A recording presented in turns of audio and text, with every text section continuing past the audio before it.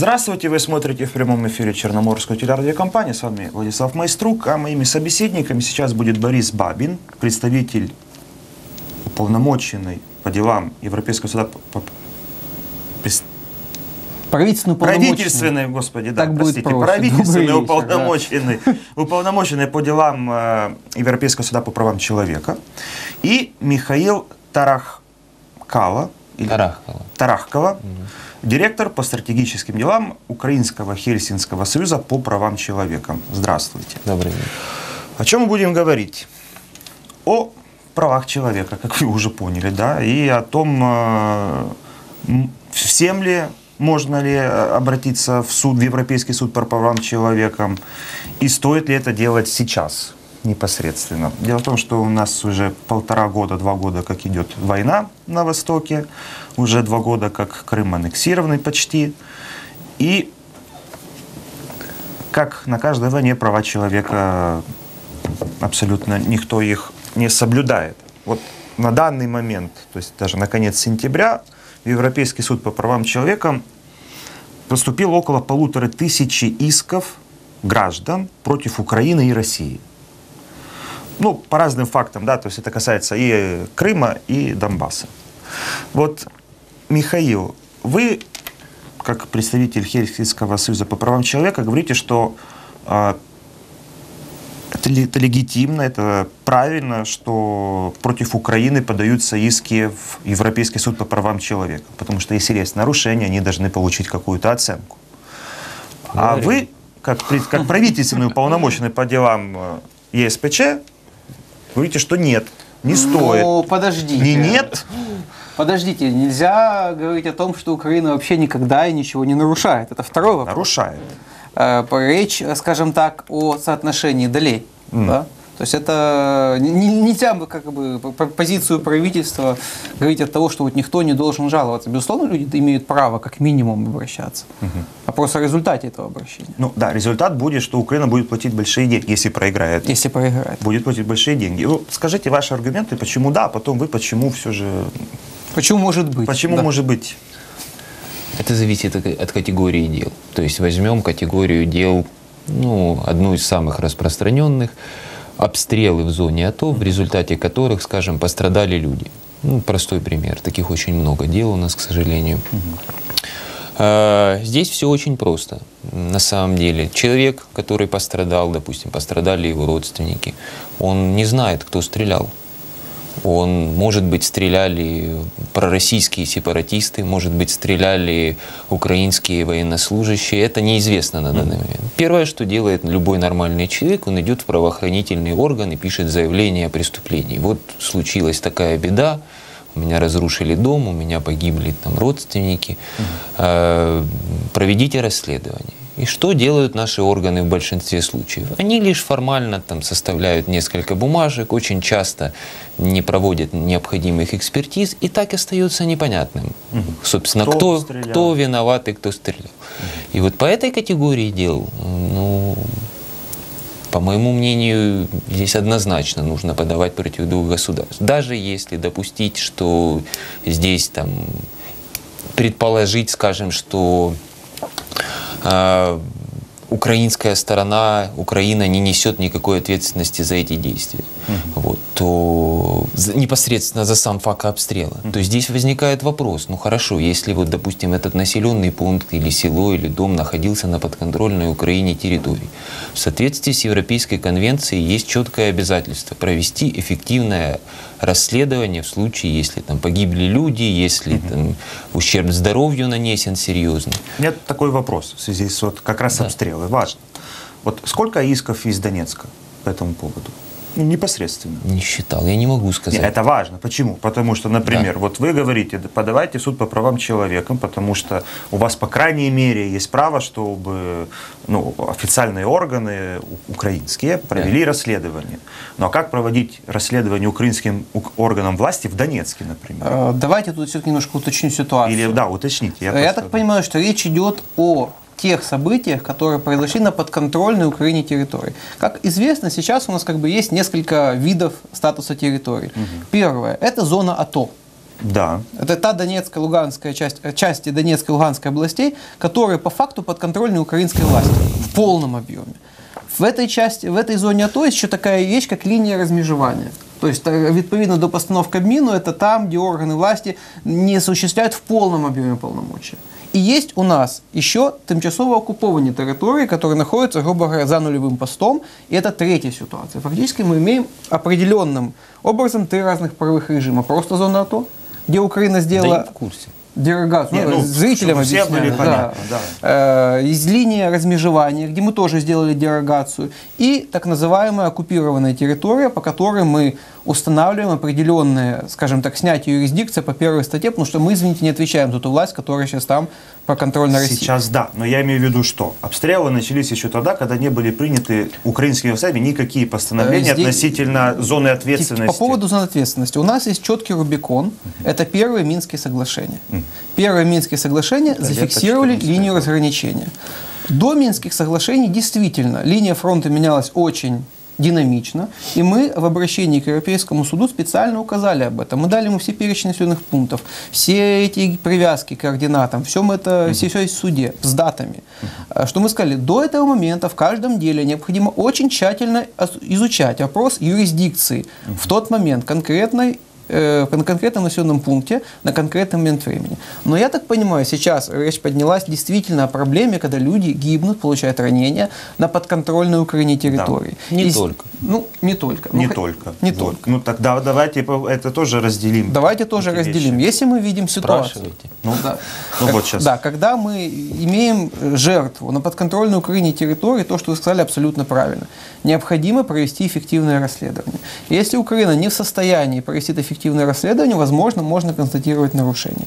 Единственный здесь возникающий вопрос – это необходимость и достаточность прохождения национальной юрисдикции в этом вопросе. То есть после какого момента суд сочтет, что вы исчерпали национальный механизм защиты.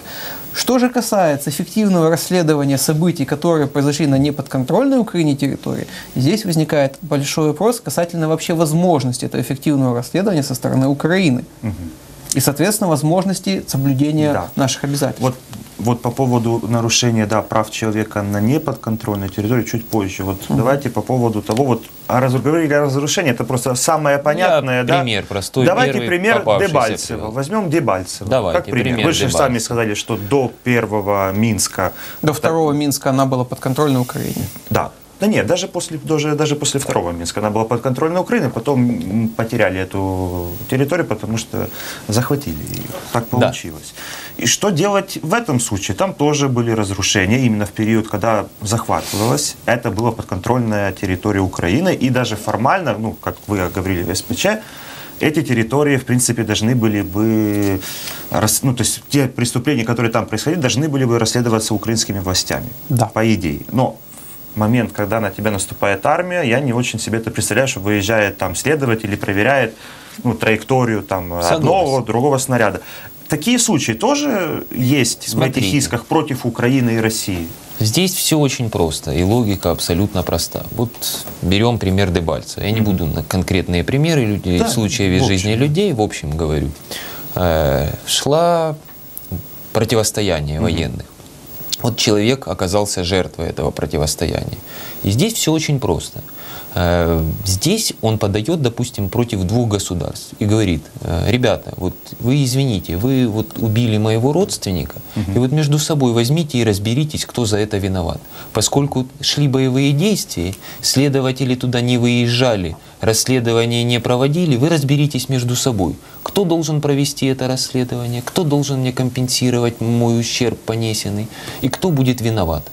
Это очень простая логика. И здесь каждая из сторон, вот в случае этого человека, она скажет, вот извините, э, мы здесь ни при чем.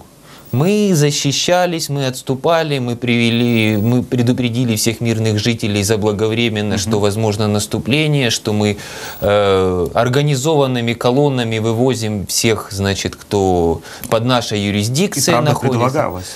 Ну, возможно. Э, То есть мы, допустим, из колоний, из всех, которые находились, скажем, в Чернухино, повывозили заключенных. Это да, ну да, вот. Этого уже не было.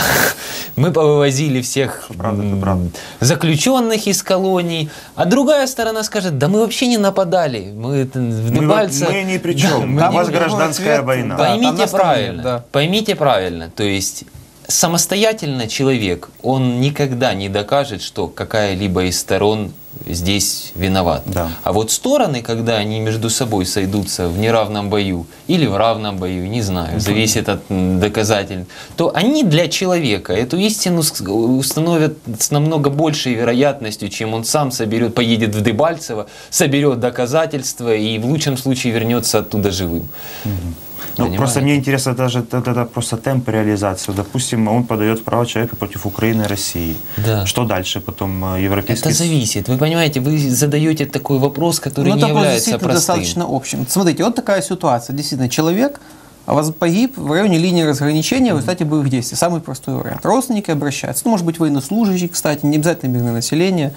Это может быть кто угодно, в том числе, скажем так, и э, родственники человека с другой стороны тоже могут обратиться. В принципе, они граждане Украины так же самое могут обращаться в СПЧ Да. часто. И граждане России тоже могут обращаться в СПЧ, никто им это не запрещает.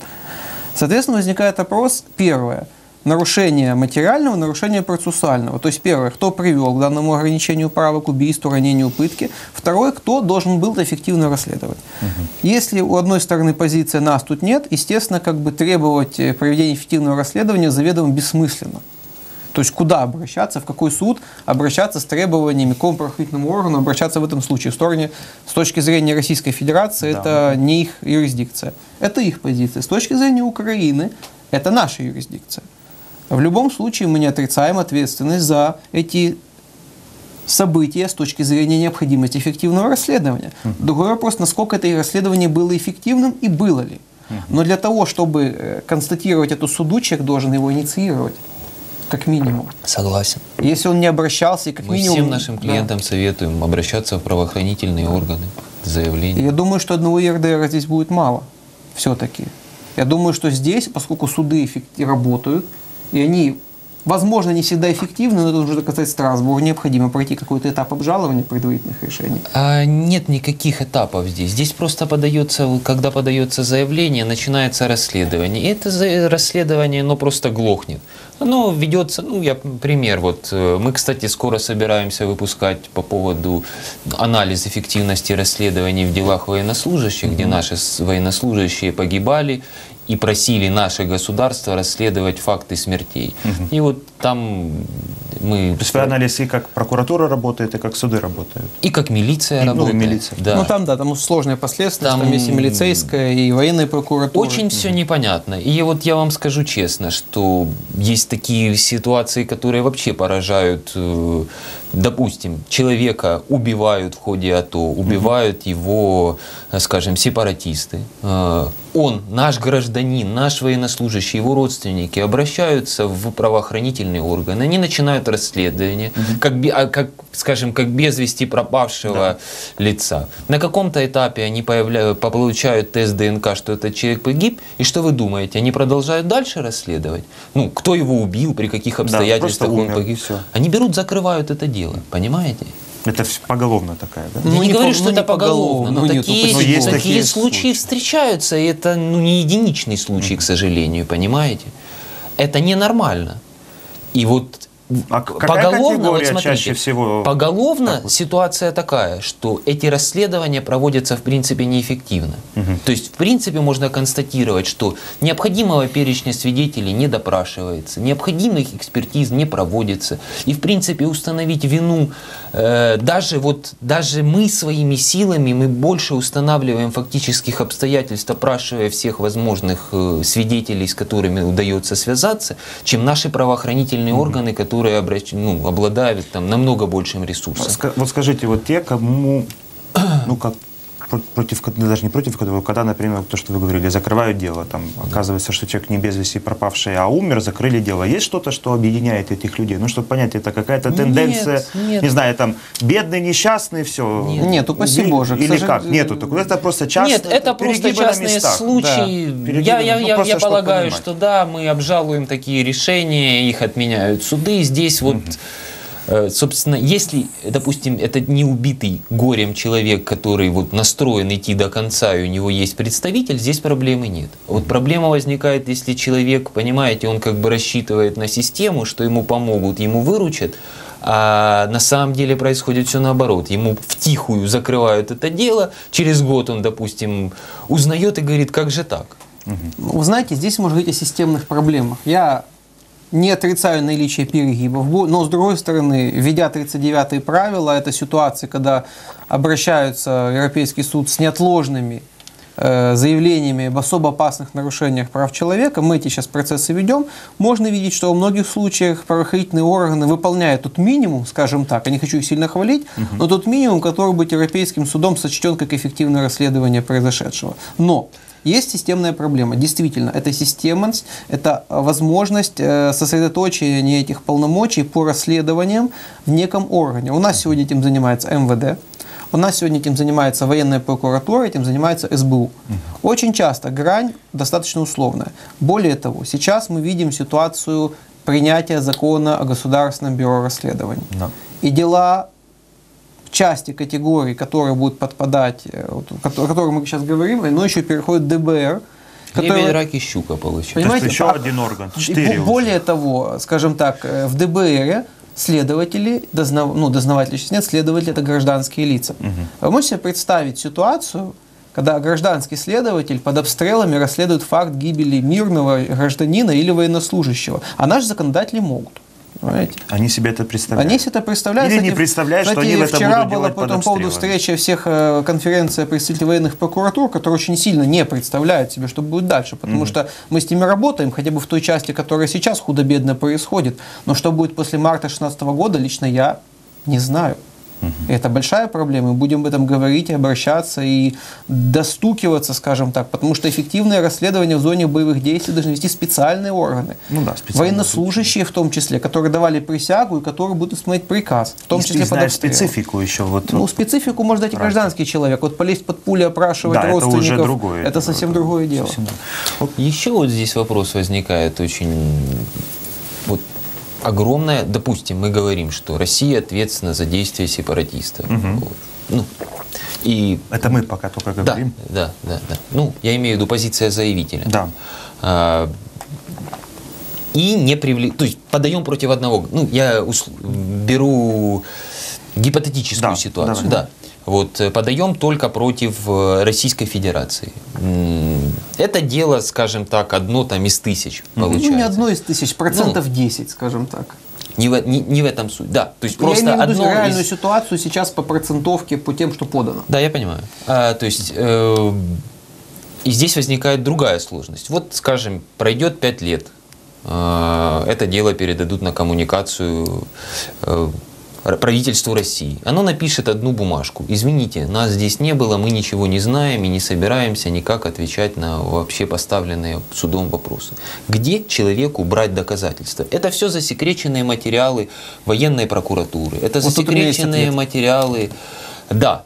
Э, Возможно, несколько вариантов. Возможно, вступить со стороны Украины и предоставить эти доказательства. И мы будем вступать, это уже я четкая надеюсь, политическая позиция. я надеюсь на это. И эти То есть пакеты- Украина как Как государство третья будет... сторона вступает в эти дела. И мы предоставляем весь вал доказательств. Ага, и мы окей. уже, скажем так, начали это делать. Я надеюсь на это. Но в таких ситуациях может получиться и по-другому, что на каком-то этапе э, Российская Федерация может предоставить какой-то свой определенный объем доказательств, которые нужно будет опровергнуть. И здесь тоже нужно будет действие правительства. Безусловно, как третьей стороны. Вот это один из аргументов, почему стоит привлекать и Россию, и Украину Сразу. сразу.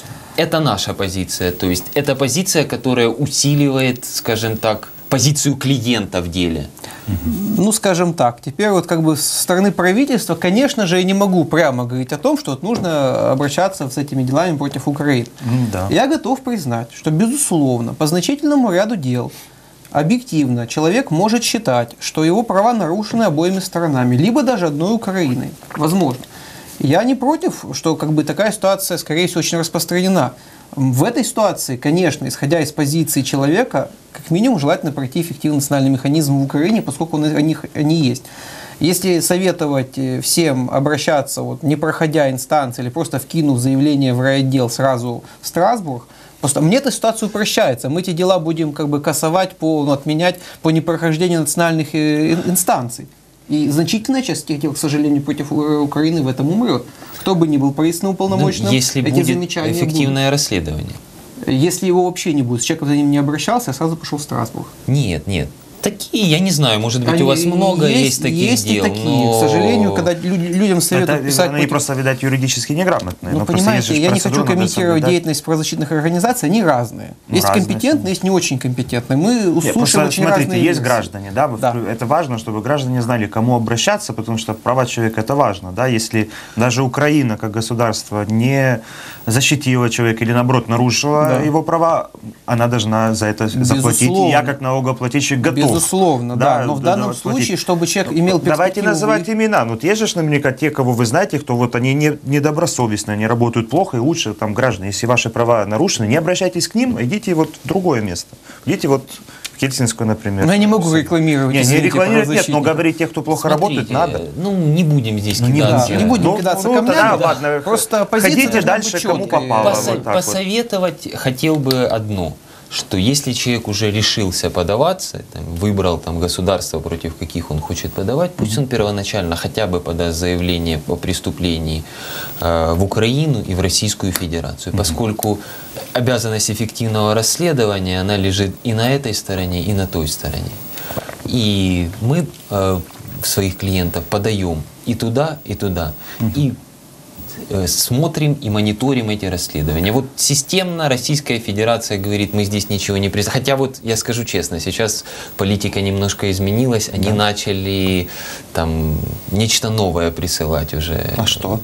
Там ну, немножко, ну я не буду раскрывать. Не, не раскрывать, без Да, секрета то есть там э, следствия, раньше, вот они, раньше они просто присылали там «Я Это не не я, мы? хата не моя», да. А теперь, скорее всего, они будут имитировать рассмотрение Они заявлений. сейчас как бы вот пытаются, да, некую имитацию провести э, каких-то Мы расслед- расследовали, Ну, это и смешно. оказалось, что мы Поймите, при чем. это смешно. Если у них Гиркин, который ну, причастен ко всем Да, он событиям в Славянске, он интервью ходит дает. по городу, раздает интервью, и нет ни Причем критикует уголовного- Путина, это самое удивительное. Уголовного, ну это их внутренние Это их внутренние проблемы, дела, да. То есть- Касательно, вот хотел бы еще уточнить обращение в российские юрисдикции. Э, Это очень сложный момент.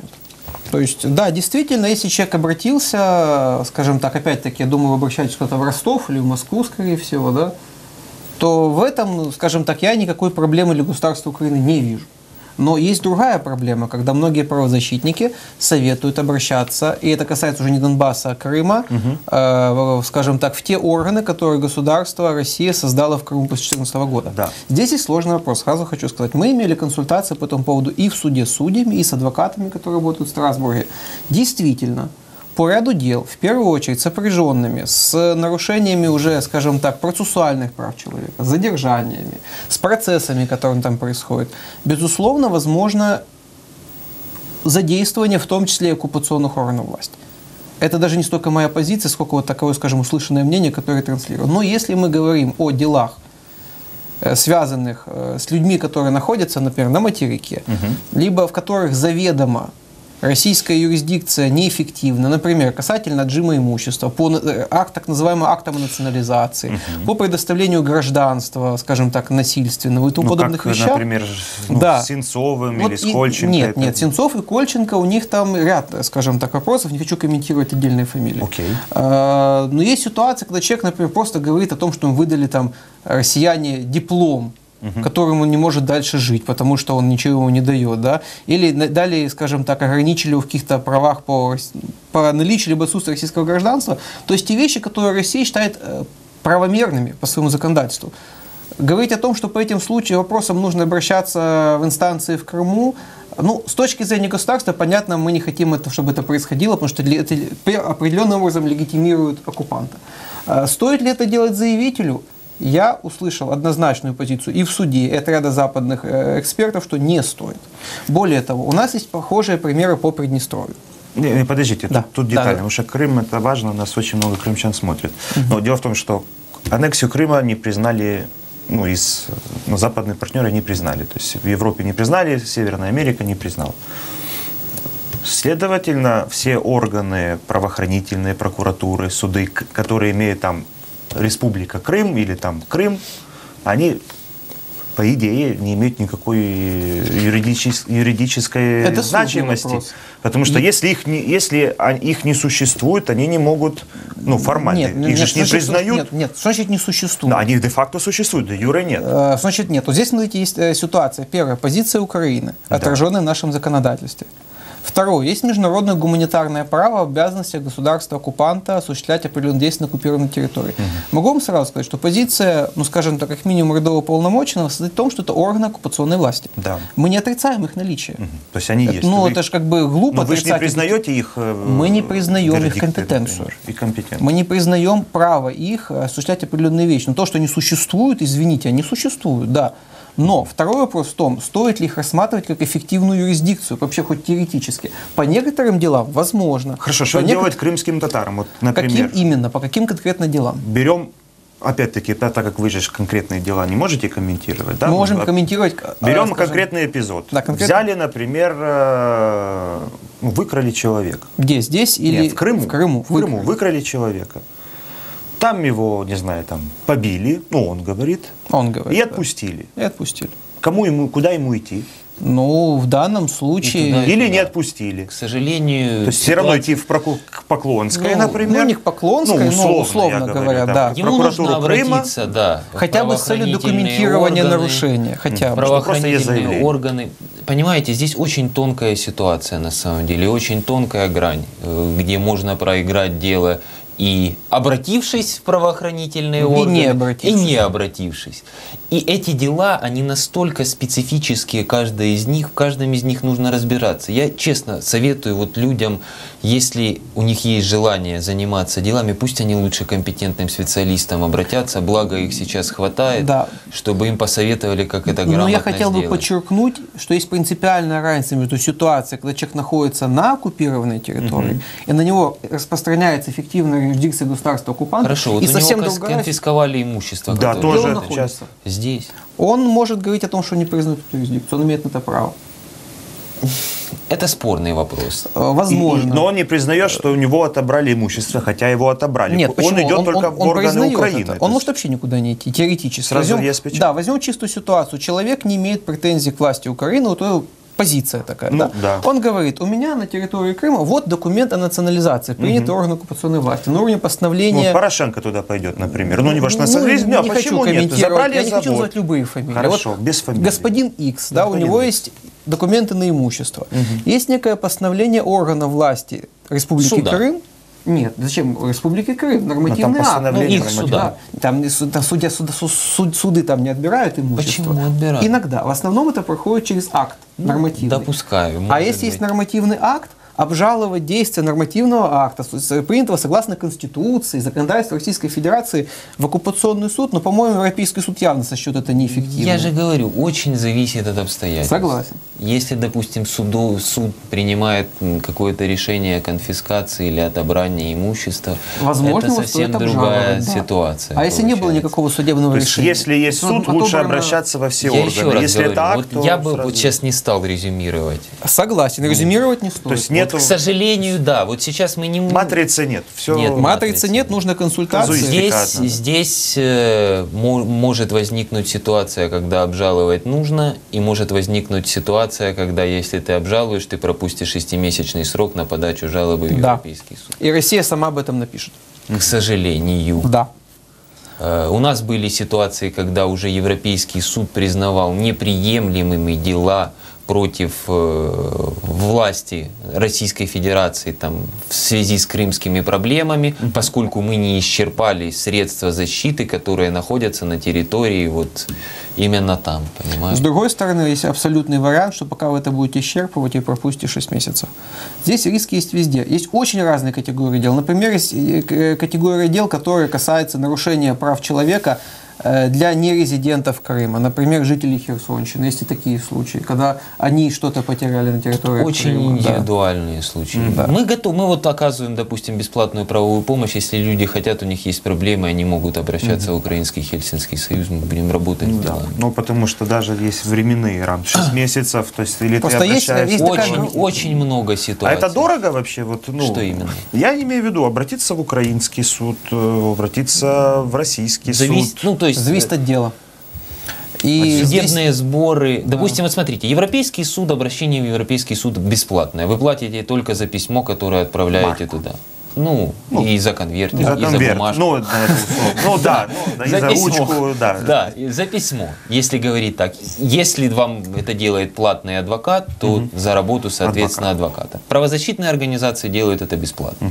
Вот. Э, Дальше. Если вам нужно что-то исчерпывать, вы идете по судам. Соответственно, все то же самое. Если вам нужно платить судебные сборы, вы платите судебные сборы, как в Украине, так и в России. Если есть возможность освободиться, вы освобождаетесь. Если вам нужно подавать заявление в правоохранительные органы, ну, везде бесплатно, ну, просто пишется и подается. Если вам нужна помощь адвоката платного, ну, естественно, никто Да, бесплатно да. работать не будет. Собственно, вот. То есть это стоит. Это стоит делать. Единственное, что как бы по предыдущему опыту действительно человек сам волен выбирать первое юрисдикцию, то есть против кого он будет судиться. Второе, он должен всегда учитывать риски, что действительно мы, у нас нет прецедентов, а пока мы их будем ждать, пропущены будут процессуальные сроки. То есть риск, риск всегда. Будешь проходить оккупационную юрисдикцию, ты рискуешь. Не будешь проходить, тоже, возможно, рискуешь. То есть тут человек должен всегда осознавать то, что это дело, возможно, кончится ничем, а возможно и кончится выигрышем. То есть не нужно полагаться на Страсбург, на панацею. Но я, я, моя глубокая личная позиция, нужно это делать. Я вам дольше, больше, больше могу сказать, мы очень как бы близкие друзья и знакомые тоже уже давно это сделали, кто с Крыма. Да. Но э, здесь бы еще хотелось бы сказать, что вот если есть желание человека судиться только против России, или только против Украины, или только против двух государств, это должен быть его выбор. Потому что часто, ну, не часто, бывает ситуация, когда человек приходит, ну, например, каким-то правозащитникам условным, да, говорит, вот есть моя позиция, я хочу судиться вот только против государства А. Они говорят, нет, уважаемые, вот мы будем вам помогать, только если вы судитесь против государства А и против государства Б, потому что нас, мы не хотим быть замешанными в политику, у нас есть грантодатели, у них есть тоже политика определенная, поэтому иски против А или против Б мы вам ничего не поможем, только против двух государств. Такое, к сожалению, бывает, ну, я это воспринимаю не очень. Человек должен сам выбирать. Ну, так у Куда него есть выбор, он Да. может просто сказать, ну хорошо, я с вами тогда работать не буду, я пойду к другим Он пойдет другим э, правозащитникам, но проблема в том, что очень редкие правозащитники сегодня соглашаются помогать только в исках против России. Против, если только против России. Ну, в этом есть, я же говорю, есть свои риски. Это чтобы потом выиграть, дела. э, больше есть шансов выиграть потом. э, Ну, тут разные доводы суде. доводились. Ну, это какие-то сейчас на кофейной Окей. гуще. Еще Ну, один нюанс, который мы говорили прежде, это что касается преступлений против украинцев, ну, граждан Украины на оккупированных территориях. Допустим, там, не знаю, возьмем Донецк, Луганск, не, су- не суть. Вот совершили преступление против украинцев. Какого характера преступления? Не знаю, насильственного характера. То есть выкрали, Не- выкрали, да, о, выкрали, пытали, освободили. Здесь я хотел бы сразу уточнить. Речь идет о преступлении со стороны структур подконтрольной оккупационной власти или это просто, просто общеуголовное преступление? За- Зашли, не знаю, там какие там, как у них там разные там, знаю, Гиви пришел, как представитель власти. Как представитель власти. Ну да, ну он же Условно говоря, как условно представитель говоря, как представитель, да, власти. там схватил кого-то в, в СБУ в подвалу в Донецке, э, принес, бил, пытал, держал, отпустил, ничего не объяснил. Ну отпустил. Бывают такие случаи, отпустил. Что да, делать этому человеку? Согласно тому, что было принято в середине мая Верховной Рады, а, Украина говорит, что мы не можем гарантировать определенные права человека на оккупированных территориях, ну, чисто физически. Но тем самым ну, эти граждане остаются все равно гражданами Подождите, а о Украины. чем, о каком документе Верховной Рады вы говорите? Ну, там было заявление об отходе от некоторых Нет, это совсем- обязательств, это это, совсем другое, это другое. ничем не обязывает. Это касается, чтобы вы понимали, той части э, зоны АТО, которая подконтрольна украинским властям. И речь идет Там не это- о каких-то злоупотреблениях со стороны оккупационной власти, а речь идет об очень небольших отступлениях от обязательств по статье 5 и 6 по законодательству Украины с наших, э, со стороны наших правоохранительных органов. Но я сразу хочу сказать, что этот механизм, он практически не применяется на практике. Вот, я не знаю, может, у вас другая информация. Нет, По я официаль- скажу, что даже вот это вот заявление об отхождении, ну, Я, име- я имею в виду те статьи, э, измененные, усиленные права, вот эти вот специальные статьи, на практике неправоохранительным органам практически не ну применяются. бывает иногда Очень по задержанию, редко, да. по задержаниям. То есть бывает, это но заявление, которое было сделано, оно имеет определенное значение, но оно абсолютно не В покрывает этом оккупированную случае территорию. человеку лучше всего обратиться в правоохранительные органы Украины и Российской Федерации. Вот то, что мы Да, И все. да. Ну, что значит и все? Не, ну, не, ну, всё, ну, ну, нужно да. следить за расследованием, смотреть, Э, да. чтобы как бы Ну, а расследовались, случае интересоваться. иска, Что-что? в- в суд по собрать необходимую человека. документацию, подтверждающую фактические события. Это может быть любая документация, в том, Фотографии побоев. в том числе и документация, выданная оккупационными властями. То есть с точки зрения Европейского суда любое доказательство может принято как доказательство. Например, там какая-то, грубо говоря, там постановление, ну, скажем в кавычках, следователя о задержании из ДНР будет вполне рассмотрено в Страсбурге как доказательство. Почему нет? Вполне. У нас есть много таких веселых документов, когда, например, вы же знаете, у них там действует уголовный кодекс э, ДНР, ну, фактически уголовный кодекс Российской Федерации, они просто поменяли название, поэтому получилось очень смешно, у них там есть статьи за незаконное истребление морских котиков и тому подобное, а уголовно-процессуальный кодекс у них УК Украинской ССР 60-го года, то есть у них там такой коктейль Молотова. И на, берешь такой документ, там начинает следователь, руководствуясь УПК Украины, потом в середине текста плавно переходит на УПК ДНР, а под конец имеем УК РФ, и в этом же тексте УК ДНР, а это еще бывает и УК Украины, все это в одном процессуальном документе.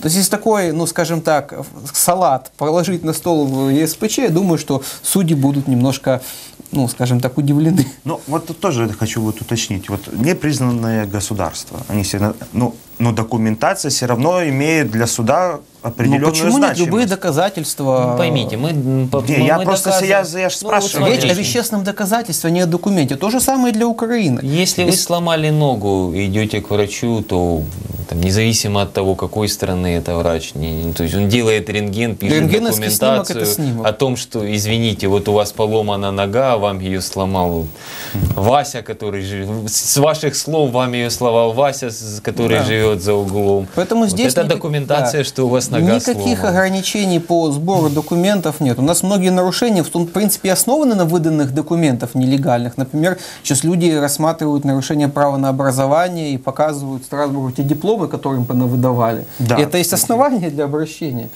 Ну, А, а шансы выиграть в таких... возможно. То есть Ничего могут сказать Да, нельзя. э, Ну, просто здесь- не знаю, есть, как работает вообще суд. То есть он э, по какому-то Суд- прецедентное право Да, есть? есть прецедентное право. Что нам, скажем так, усиливает позицию по э, Донецкой, э, по, по части, по оккупированной части Донецкой и Луганской областей? У нас есть прецедентная практика по Приднестровью, достаточно четкая, где в делах против Молдовы и России там продают, как правило, против двух государств. Ну, там, скажем так, и вина Молдовы больше в Приднестровье, чем вина Украины на оккупированных территориях. Ну, объективно говоря. Ну, возможно, не знаю. Ну, объективно В говоря, некоторых да. случаях нет. э, скажем так, с государственной позиции, потому что они частично признают существование ПМР Приднестровья, да. де юре. Ну, возможно. Да. То есть это уже такой и ссылаясь на это полупризнание, их, у них больше ответственности за это. Там, во всяком случае, там законодательство, э, Женевская конвенция об оккупированных территориях точно не срабатывает. Четвертое. Понимаю, Более того, там еще есть один нюанс. На территории Молдовы официально находятся правоохранительные органы Российской Федерации, Да, в частности военная военная база, да. прокуратура на военной базе. И молдавские правозащитники, когда они шли путем исчерпания национальных юрисдикций, они обращались именно в эту легально существующую военную прокуратуру, которой, естественно, например, на Донбассе нет российской. И да. поэтому там действительно они в первых делах и пытались исчерпать национальные механизмы. Но, кстати, сегодня есть ряд выигранных дел, когда они уже даже и не обращались туда. Я не против, я же не говорю, что То есть я общался с ними, они сказали, что это как бы потом от нас никто не требовал, и лишний раз просто им стало, честно говоря, просто вот заниматься документацией не хотели они.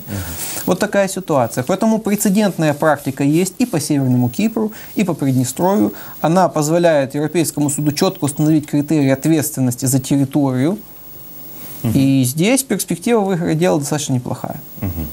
Вот интересно, а вы не знаете, вот, например, ситуация в Косово, кто на кого подает? Интересный вопрос, но здесь здесь другая ситуация. Коsoво полупризнанное государство. Да, частично признанная. И, но, с другой стороны, Косово не является членом э, Совета Европы и членом механизма ЕСПЛ.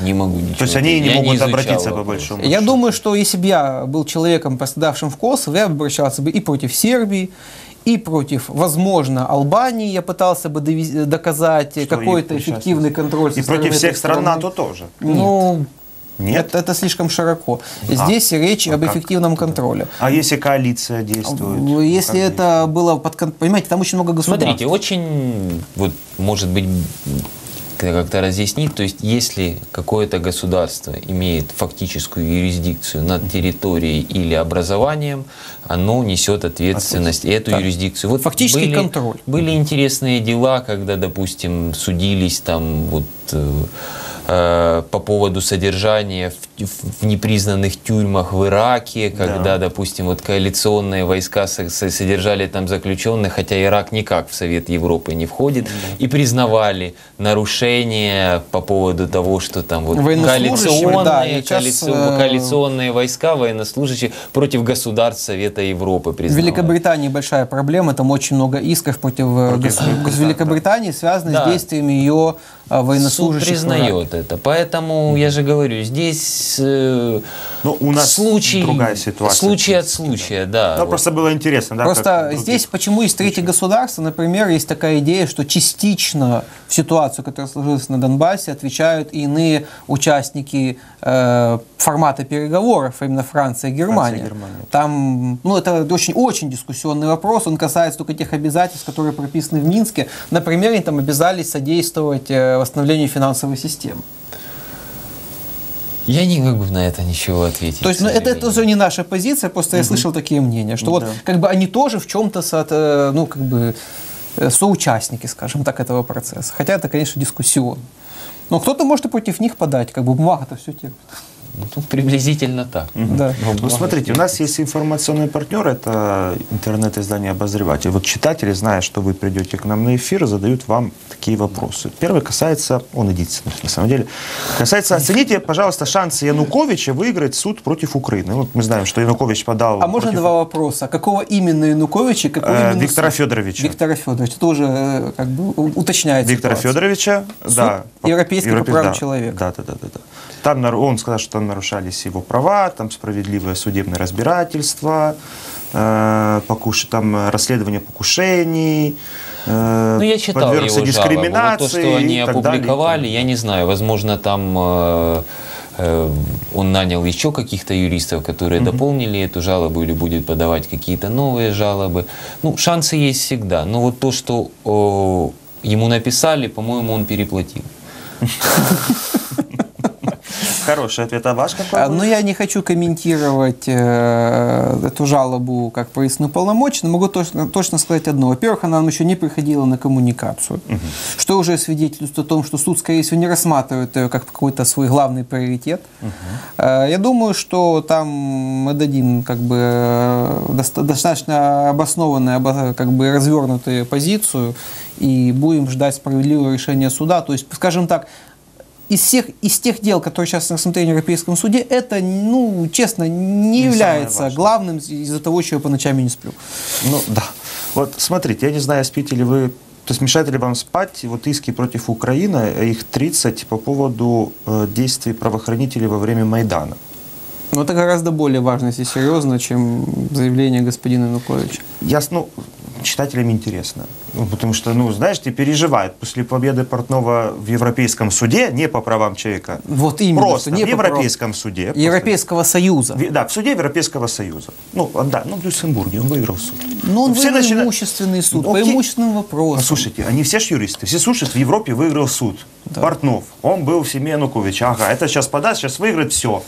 Ну, поймите. Да, и восстановит должность И восстановит, станет судом, президентом, да, и да. восстановится с решением Европейского суда по правам человека президентом. Ну, и все вот, ну, окей, вы сказали, что это вот может и не, и не произойти, потому что Европейский суд это для них... Ну, что по поводу исков от Евромайдана? 30 по исков. поводу Евромайдана, кстати, мы представляем вот этих Да. заявителей в ГСПЛ. Большинство из них мы поддерживали адвокатов, которые подавали. Там большая часть наших, мы и наши коллеги. Э, Если можно убрать обозревателя, Да. он уже все. Ну, вернуть Ну, как это всему. Это интересно. А один был вопрос от обозревателя. Да, это интересный вопрос. Тут э, довольно спорная и сильная позиция. Мы пока это дело на коммуникации. Мы посмотрим, что нам ответит правительство. Объясните, что такое на коммуникации. А, да, если в двух словах сказать, то есть как проходит вообще разбирательство э, в Европейском суде. Человек, который считает, что его права нарушены, он подает жалобу. Есть э, определенного формата бланк, который можно скачать на сайте Европейского суда, он заполняется, прилагаются необходимые документы, доказательства, и человек или его представитель по доверенности подает это заявление в Европейский суд. Дальше Европейский суд все это получает, изучает, рассматривает, соблюдены ли все формальные требования. После этого, если все соблюдено, он передает этот пакет документов правительству для того, чтобы оно его прокомментировало. Вот с этого момента наступает стадия коммуникации. С этого момента каждому заявителю необходимо найти представителя, который бы владел либо французским, либо английским языком. Чтобы защищать Да, права чтобы в защищать. суде. И дальше вот начинается стадия коммуникации. Но носит письменный характер. Да, Сразу э, ну, есть исключения, но в Очень основном, редкие, да, да. в основном письменный характер. То есть на этой стадии правительство комментирует вот эти вот возражения, высказывает свою позицию, согласно ли оно с нарушениями, которые описаны в жалобе, или не согласно, и подает э, свои возражения уже заявителю или, ну, скорее его представителю. Представитель высказывает свою позицию, все вот это вот, эти позиции передаются суду, суд их оценивает и выносит решение по делу. Собственно, вот так выглядит стандартная письменная процедура в Европейском суде. Возможно исключения, возможно на каком-то этапе правительство соглашается признать нарушение, или Или стороны соглашаются на мировое соглашение, или же бывают исключения, когда, допустим, э, в суде происходят устные слушания. Это такое бывает, но крайне редко. Или же, с другой сказал. стороны, например, когда мы имеем пилотное дело, э, рассмотрение проходит по очень быстрой процедуре, когда уже особо, скажем так, очень мало вопросов ставится правительству, и сроки рассмотрения меньше. Но те дела, о которых мы сейчас говорим, явно не пилотные, они очень комплексные и сложные. Хочу сразу сказать, что по делам Майдана, по всем остальным индивидуальным заявлениям, связанным с войной, и по межгосударственным заявлениям в секретариате уполномоченного сейчас создан отдельный отдел, чего раньше не было. И мы э, очень, как бы, естественно, э, ответственно к этому относимся. Э, Скорее всего, будем просить отсрочку у Европейского суда, но она будет разумной. Мы абсолютно не хотим затягивать этот процесс. Это связано с тем, что мы вынуждены коммуницировать с огромным количеством органов, которые были вовлечены в эти процессы. И, естественно, как бы мы заинтересованы в том, чтобы максимально получить от них э, исчерпывающую и правдивую информацию. Но я обещаю, что эти дела в любом случае будут на особом контроле по качеству и количеству аргументов. Я думаю, что они будут, ну, скажем так, на достаточно высоком уровне. Ну, то есть, значит, заявителям нужно бояться, потому что... На чего бояться? Нет. А, Э, Ну, государство в данном случае заинтересовано, чтобы нарушение не было признано. Государство заинтересовано нет. Установить истину. Ну, хорошо. Здесь э, Будем я надеяться. не хочу говорить о том, упаси Боже, что мы за- за- заинтересованы в том, что вот все дела против Украины были выиграны государством. Наоборот, очень часто, иногда выгодно даже в чем-то и проиграть, чтобы потом иметь основания, зафиксированные решения Европейского суда, что-то изменить. Потому что моя функция же не Ну, только коммуницировать с судом, я а буду и рад. имплементировать Меньше его работы. да. Не, ну Но это будет выглядеть, да, странно, что Украина будет, нынешняя Украина постмайдана будет... Это не э, странно, это приветствие Не, это- это-. Это, это абсолютно да. нормально. Потому что я уверен, что абсолютно не все, даже когда есть объективные нарушения, часто они бывают, когда заявитель указывает то, что он хочет, поверьте, очень часто то, что он хочет, то, что было в реальной жизни, это, как в Одессе две большие разницы. И наша задача вывести это к Смотрите, у нас, очень занимать. мало времени. Да. Я хочу вам задать вопрос, касающийся будущего. Вот я, если не ошибаюсь, еще не принят закон, который предусматривает уголовную ответственность за отрицание голодомора. Я могу ошибаться, но вроде не Э, принят. Была административная, насколько я знаю. административно Не и так далее. Но смотрите, какая ситуация. Голодомор Украины признан не всеми странами этого мира. Да? Ну, Россия, по крайней мере, не признает. Одна из которых не признает. Есть целый ряд стран, которые тоже Да. не признает. В этом году э, Швейцария проиграла апелляционный иск против Европейского суда по правам человека. Почему? Потому что в 2008 году суд в Швейцарии осудил лидера рабочей партии Турции за отрицание геноцида армян. Тот, в свою очередь, подал в суд по правам человека за, ну, за это решение. Он его выиграл, Швейцария подала апелляцию, но потом отклонили эту апелляцию. Ну, судя по всему, так, ну, там, э, что геноцид армян – это не установленный факт, исторический. Э, Скажем так, здесь очень много зависит от того, как он это отрицал. Что написано в швейцарском законодательстве, каким был процесс. Я не стал Нельзя бы- обобщать. Абсолютно, я бы не стал.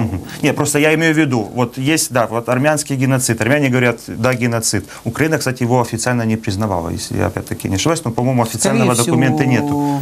Там, я не турки не, уверен. признают, там многие, знаете, многие страны не признают. Я скажу очень просто. Вот если у нас кого-то посадят за отрицание голодомора, пусть по административному правонарушению, пусть обратится, и тогда мы разберемся, Да, тогда будет будем- перспектива Ну, или просто, нет. ну, А сейчас, ну, сложно сказать на самом деле. Просто отрицание чего-то это в первую очередь как бы свобода слова, да, свобода выражения. ну, Холокост Когда нельзя отрицать, сажают в тюрьму за Ну это. так э, В хорошо, допустим, сажают. Но есть другие случаи, когда отрицание Холокоста через суды а, человека оправдывают. И такое тоже бывает. Это очень противоречивая, разношерстная практика. И просто нас тут пока спасает то, что, насколько я помню, никого не привлекали особо к этой ответственности. А из тех, кого привлекали, он не дошел до Страсбурга. Соответственно, вот такая у нас ситуация. Окей. Ну, к сожалению, наше время истекло. Из нашей беседы мы поняли, что подавать в суд на права человека лучше все же пока то, во-первых, решайте сами, на кого подавать. То есть или на Россию только, или только на Украину, или на обе государства сразу. То есть и на Россию, и Украину. Вы говорите, что лучше сразу на об- обоих. Так больше шансов, с вашей точки зрения, получить э, ну, положительный вердикт, или, по крайней мере, чтобы Европейский суд разобрался, что на самом деле произошло. Вы говорите, что есть нюансы, все же, Да, зависит от все же думать очень много.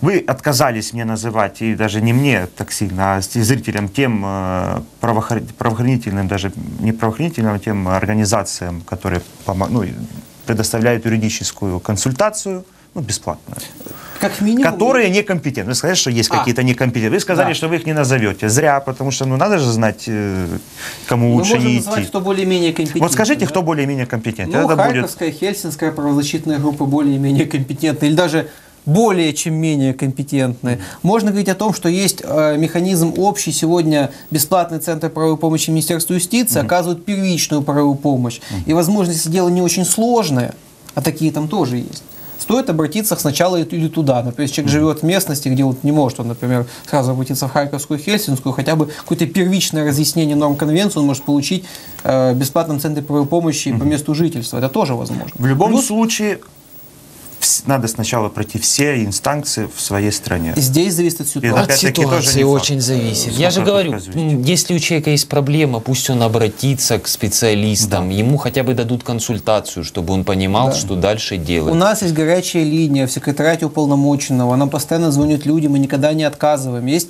при- личный прием граждан уполномоченного. Там тоже ходит заявитель, мы тоже даем ему консультации, от этого абсолютно не уклоняемся. Тогда, если по- позвольте мне, чтобы резюмировать, не занимайтесь самолечением. Это но, не откла- того. но не И не откладывайте. откладывайте со, тоже, тоже лечение. То есть идите к специалисту. Да. Ну, им, хотя мы это не врачи, но тоже это зависит от вашего здоровья, по крайней мере, психическое. Спасибо, еще раз благодарю вам за эту беседу. Оставайтесь с нами.